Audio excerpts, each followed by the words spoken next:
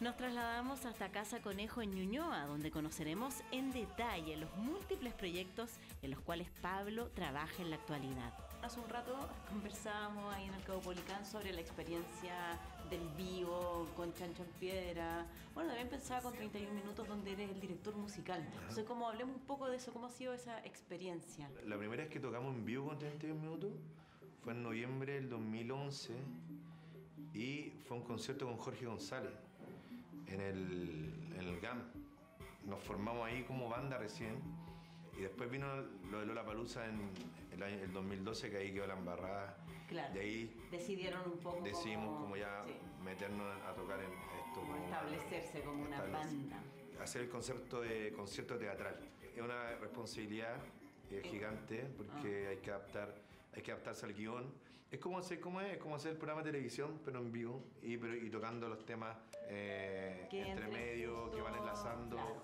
parte del guion. Y, ese guion es una obra de teatro, entonces como obra de teatro también hay que musicalizarla y hay que o no meterle música, depende de, de lo que se requiera. Claro, una responsabilidad ser director, o sea, no puede pasar nada, no, no puede haber ni una falla, eh, tiene que estar todo, todo impecable y también adopté otra forma de trabajar. Yo trabajo mi micrófono para que, con el cual canto y tengo un- otro micrófono director que tengo una comunicación interna con todo. Entonces eh, es divertido porque tú estás la, la hora andando y tú estás hablando, "Oye, tenés que ya, baja acá porque no, baja sobre esto, sobre esto. Entonces eso, esa como misión que, que entre comillas tengo como director musical eh, es bien estresante por un lado, pero también gratificante cuando uno ve los frutos. Y Pablo, bueno, y a propósito de teatro, hablemos de Condicional, esta obra que hizo la dramaturgia mm, Álvaro Díaz, Sí. con Elvira López también. Elvira dirigió la obra. La Elvirita López, que es una gran amiga y, y que la quiero mucho, que también ha hecho discos y tuve la oportunidad pues, de producir una música música. ella pues. sí, sí, sí. Y la Elvira me llama y me dice, oye, ¿querés hacer la música del musical? Y le dije, "Wow, vamos. Hay una tradición de, de musicales en Chile importante, desde La Pérgola a las Flores. Ah, sí, sí. eh, La Negra Esther. La Negra Esther y, y muchas más. Entonces, hacer un musical original que reflejara quizá alguna realidad de Chile, porque ese era el tema. Claro. Entonces Álvaro escribió Condicional, eh, compuse la música, compusimos como muchas canciones, no me acuerdo cuántas eran, pero, pero quizás más de 15. Eh, un elenco increíble, puros jóvenes talentos del- del- de, de estudiantes de teatro de cuarto año de la universidad. Tuvimos tres meses en cartelera, nos fue súper bien, fue increíble, eh, lo pasamos súper bien, fue una buena experiencia. Sí. El teatro me encanta más que cualquier otra arte, creo Sí, yo, como que- eh, escénica, porque creo que te atrapa. Hay solo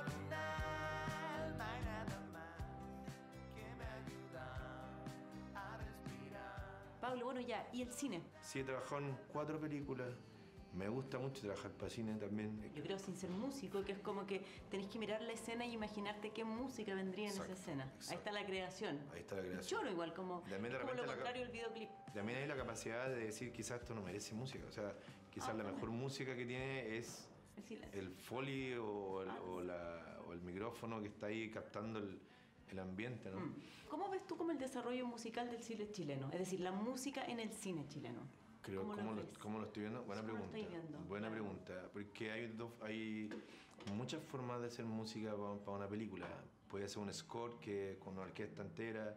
Puede cortar un fabricante de canciones para que te haga una banda sonora para, para la película. O un tema O central. un tema central claro. y después ocupar, y ocupar un productor musical y que te haga un soundtrack más con canciones ya hechas. Falta estructu- estructurar más y proteger más la importancia de la música en un largometraje. Creo que eso creo que ni siquiera los propios directores lo tienen muy en claro, porque creo que falta tener una visión más amplia del el presupuesto o el porcentaje para la música en una película. Creo que es una, es una parte demasiado importante, tanto como la fotografía, eh, la misma actuación, el guion. Oye, Pablo, ¿y algún director en especial que te gustaría trabajar? Me gusta mucho el trabajo de Lelio ahora, la última película, la revisión de su película Gloria, encuentro que está muy buena. Me gusta mucho Andrés Wood también. Creo que sería un honor trabajar con esas personas.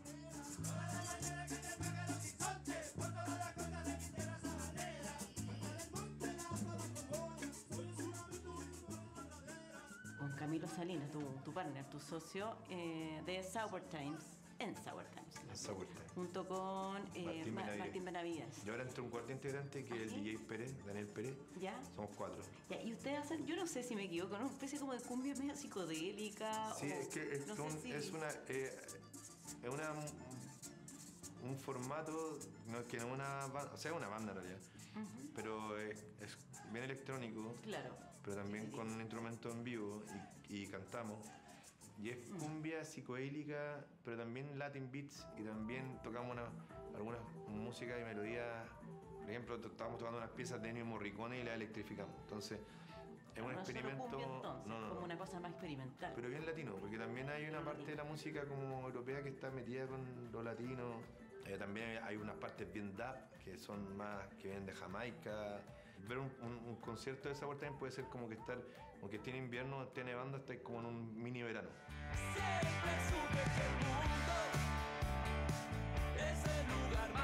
Y otro que no sé si surge de un experimento porque es como más banda formada, esta super banda Los Pillanes.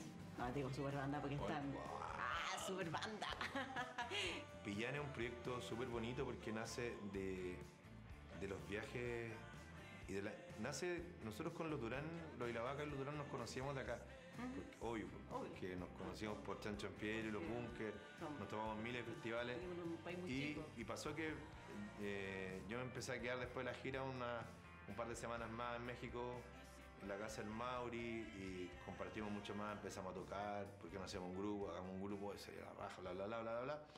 Y mm, entró el Francis y dijo, oye, metamos el felo que toque abajo, "Oye, es que va a ser No, muy raro, ¿no? Pero igual va a estar bueno, ya. Entonces lo hicimos, nos faltaba el baterista, y en una gira, la- una de las últimas giras antes del proyecto, de, de- de que fuera realidad de Pillanes, le dijimos al Pedro, el Pedro dijo ya, vamos. Y en dos semanas grabamos el disco. Ya, pues, ¿Y cómo? Yo me pregunto, em, ¿llegaban con canciones, se ponían de acuerdo ahí? Dijeron, ya, yo. Nos pusimos de acuerdo. o ahí mismo. O, Sí. o como, ¿qué sonoridad te gustaría que tuviera? O si ya lo habían Sí, hablado. sí, esa pregunta Un está buena. Esa pregunta está buena.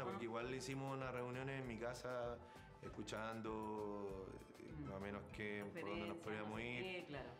Y llegamos a Valparaíso y empezamos a, a trabajar en- a base de, de llameos, ¿cachai? Hacíamos jams Ujú. y empezamos a sacar ideas que, que queda mejor. Entonces hicimos algunas composiciones con guitarra acústica en realmente un fogateo.